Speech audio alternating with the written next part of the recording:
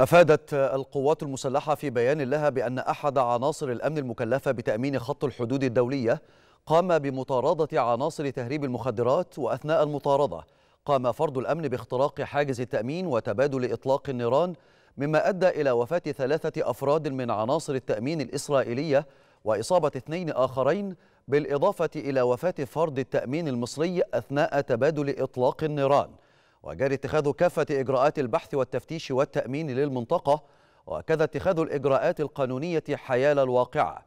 وأعربت القوات المسلحة عن خالص التعازي لأسر المتوفين والتمنيات بالشفاء العاجل للمصابين.